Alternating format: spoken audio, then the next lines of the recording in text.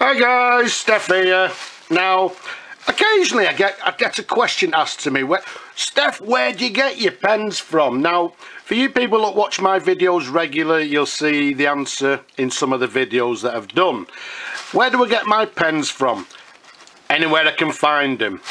Unfortunately, in my opinion, it's now getting harder and harder to find fountain pens. So it's getting harder and harder to bring you these video reviews because well basically we're just not getting the pens and they're getting more difficult to find.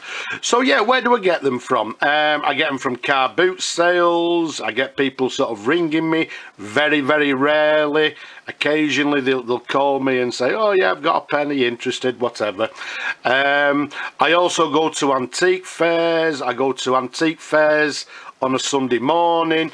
And just to give you an example um, yesterday well another where do we get my pens from? Most times you have to actually go out there and find them. They won't come to you so you've got to go and look for the pens. So yesterday I thought I got up in the morning I haven't got much stock in and I thought right I'm going pen hunting. And I went to a if you like an antique centre um, quite a number well quite a few miles away from where I live. And I actually go there on a regular basis and have a look and try and check out and see if I can find any pens. Now most times that's not very fruitful. I'll drive out there it costs me money and whatever um, and I'll come back empty-handed. Now, yesterday, as I say, I got up in the morning, I said to myself, right, Steph, let's go and do some pen hunting. So, um, I got myself a little bit of money that I have left in my pocket. I got in the car, drove to this antique centre, and very, very surprisingly, I had a good, well, I was going to say a good morning. It wasn't even a good morning. Actually, I bought these within sort of minutes, if you like, and had a quick look round and, and I left because in my opinion I got myself a, a nice little haul. So, do you want to see them? I can't hear you. Do you want to see them?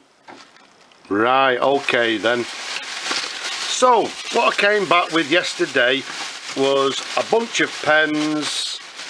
And let's bring them all out. Let's pop them down here. Is that everything? Oh one more left in there. Let's pop that to one side. Um, and this is what I actually found uh, yesterday. Now it was a very strange morning the fact that I found some very interesting pens. I found them very quickly. Um, so yeah very strange the fact that I went out and I came back with these. So let's give you a look you know a rough look at what I found. Okay you've got some very basic ones and what I term as sort of everyday pens your Parker 45 uh, your Parker 51 um, what are these here? You got Conway Stewart. Now again sometimes when I'm actually buying these pens um, basically you just got to buy what's there and if you look at this one it's got a big hole and a big crack um, but it's actually I think it's what they term as a scribe Conway Conway Stewart scribe. Now I still buy these pens because well like the likes of the nib. I'll reuse the nib. Um, I may reuse the lever. I may reuse the the clip. So pens like this they're still worth something to me for parts. So again I've just found that one. What we've got here again two lovely everyday pens two Parker Victories. Obviously if you look at the clip there um, one's an earlier model one's a later model. Once we've restored them they're a lovely, lovely pen, a lovely everyday workhorse fountain pen. So a couple of Parker Victories, uh, we've shown you that one. Another 45, we've got a lovely little Waterman's fountain pen there in this green marble. Um, that'll be a lovely pen once we've restored it. Um, we've got a, I think this is a Swan yeah if I look at you can see the clip there has got a little swan on it. So this one's actually a swan safety screw-on cap which well it does what it says on the tin it screws oh dear what happened then? Right ah, that's that seems to be a bit oh there we go. So there we have it. So again once we've given that a clean it's got a nice little nib on it there so we've got a swan um, screw on cap safety pen um, we've got another well a swan. You'll see these metal sort of cases from I think these are from sort of 1920s uh, but inside we've got a blackbird fountain pen. You'll see you'll see the clip there's broken off but again well there's no nib in it as well. So a parts pen as well so they all come in handy. We've got a Sheaffer I think this is a touchdown no cap with it so again when I'm buying pens um, as long as it's you know something that's no good or whatever um, I'll buy it even if it's broken because um, I can still use the parts. What we've got there is a lovely black Croxley fountain pen again once they're restored and working absolutely lovely pens. Um, a Conway Stewart this is a 388 lovely condition in this mauve mauve marbling. Again in lovely condition. The only problem being you can see there the lever's missing so I'm gonna have to find a lever and you'll see the nibs missing as well now but saying that um, where is it? Where's that broken one? There we go. So we've got Conway Stewart scribe here. I'm not too sure I've not looked at it but maybe the nib from this pen will fit into this 388 we don't know yet but we'll have a look. So that's why it's handy in some cases buying broken pens. Again we've got a Parker 45 biro or whatever it is. We've got a lovely Conway Stewart here. Again levers missing. Let me have a look at the the number can't quite see it. It looks like maybe a 45 a lovely large fountain pen. Again no nib or feed but maybe we'll have the parts for them who knows?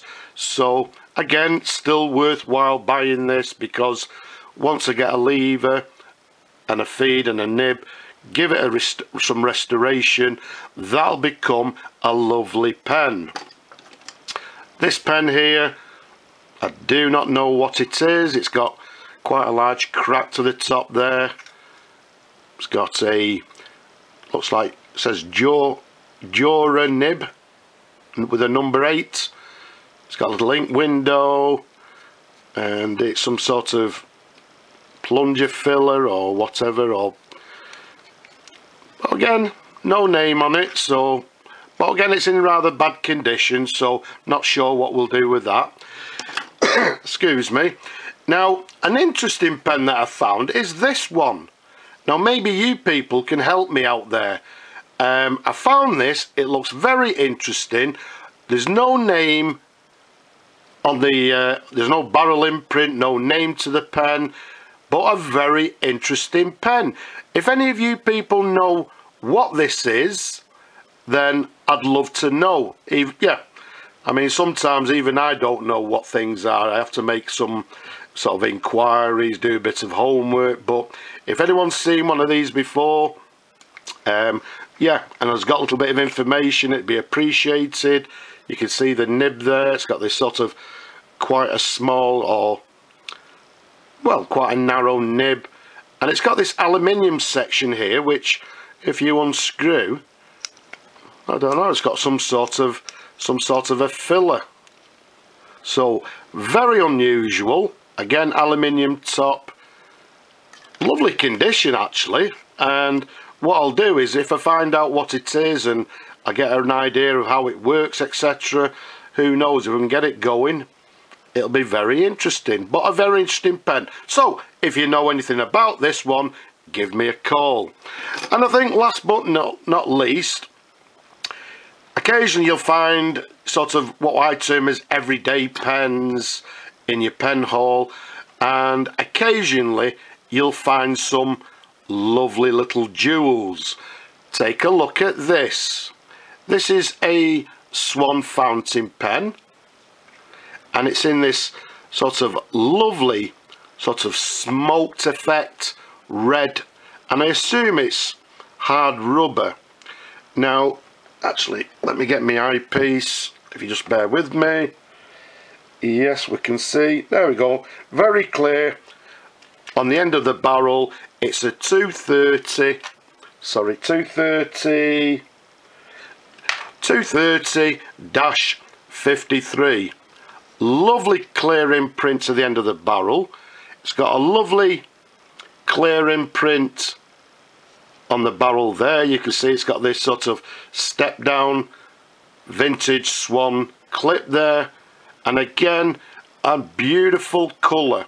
You don't see these very often. So and again needs cleaning needs servicing. Will make a lovely pen. So again hmm, whether it's a keeper or not I'm not too sure. Absolutely beautiful pen. So pop that one back. Last but not least take a look at this beauty as well. Yet again another swan. Swan imprint to the top there. Lovely clear swan imprint to the barrel and to the cap I don't know if you can see it it says Swan E444 so what we have here is a Swan Eternal 444 if we unscrew the cap lovely large Eternal nib. This one is actually a number 4 the only problem with this pen it has a slight crack to the section there. But I'm hoping we can do something about that because it's a lovely very unusual and I think a rather rare fountain pen. You can see it's in this sort of salmon salmon colour and I'm assuming the age being sort of 1920s this is hard rubber. And again very similar to some of the Parker sort of red Duofold fountain pens. A very quite a large pen an oversized pen. If we get a Parker 51 which we all we all know if I pop that next to it like that you can see it's a little bit bigger. So oops a daisy. And again if I bring you this one there you go. You can see it's an oversized Swan Eternal 444 so there we have it. We've got some everyday pens. We've got some stuff that is actually is well is basically going to be parts for us. We're going to use for parts. We've got a number of pens like the victories the croxley which i'll be well there's quite a few here that i'll be restoring. Some i am not too sure yet. I say this every time. I may be keeping in my own collection. I am not sure yet so yeah keep your eyes peeled. Who knows? Some we've got some I as dregs. I don't know what to do with that. Maybe I well again I don't know what to do whether I'll keep it or just well I won't throw it away. Maybe somebody would be interested in restoring it but there we have it. That was yesterday's pen haul. So as I say yesterday unusually in this particular location I got lucky. Sometimes you've got to go out there and search and search and search and you will find them. You do get lucky as I did yesterday so that's where I get my pens from that was yesterday's haul as I say with some unusual pens some everyday pens but for me this was the icing on the cake these two absolutely gorgeous Swan fountain pens. This one being the Eternal and the model that I told you, the 230, 230 53 did I say. in this beautiful colour. I believe these two to be quite rare pens. So, that's where I get my pens from. These are the pens that I actually find out there. So, I hope you've enjoyed looking at this quick pen haul. Don't forget, leave a comment below. Have you subscribed? If not, why not? Subscribe and then you'll see these lovely pens. But for now, I'll just say bye bye for now.